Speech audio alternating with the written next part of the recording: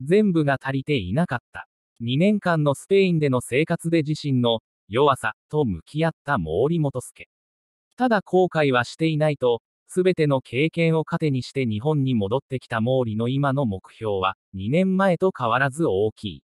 どの国のピボよりも点取れるようになるのが一番大きな目標。どれだけ警戒されても結果を残せるピボになるために。古巣、町田で優勝を目指しながら、自分の成長を追い求める毛利に話を聞いた。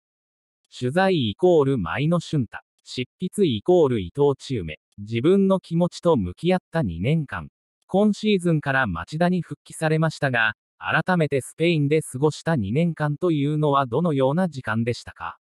自分の弱さがすごく出た2年間でした。好きなようにやらせてもらって、得意なところを評価してもらえる環境だったらのびのびやれると思いますが、自分の欠点ばかりを見られる時期もあって。ただそういう時の自分のメンタルの作り方や整え方はすごく勉強になりました。どういったところが足りていないと感じましたか？全部です。スペインのリーグでやれるかやらないかで言ったら、やれるんですけど、そこで突き抜けるためには全部が足りていなかったというのが正直な感想です。いろんな意味で未熟だったなと。どんな状況でも点が取れる選手になりたいと思ってスペインに行ったので、そこに関してはほぼ自分の目標が達成できずに帰ってくることになりました。メンタルの部分では、具体的にどのような学びがあったのでしょうか。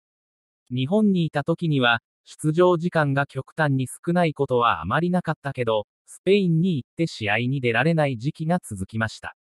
選手でいると他に試合に出ている選手を見て、なんでこいつが、という気持ちが出てくることもあると思うんです。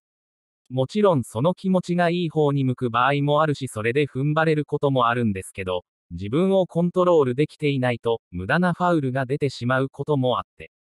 僕がいたところもそうですが、スペインはそういうのを気にするチームが多いので、そういった部分で家に帰って反省して、まだまだだなと思うことは多かったです。気持ちのコントロールは難しい部分ですよね。あと最初の頃は特に、息抜きがあまりうまくいっていなかったのもあって。今振り返ると、自分から下を向いてしまうような生活をしていた時期もあったなと思います。でも、後悔はしないタイプなので、その時の自分は100%でやっていたというふうには思っています。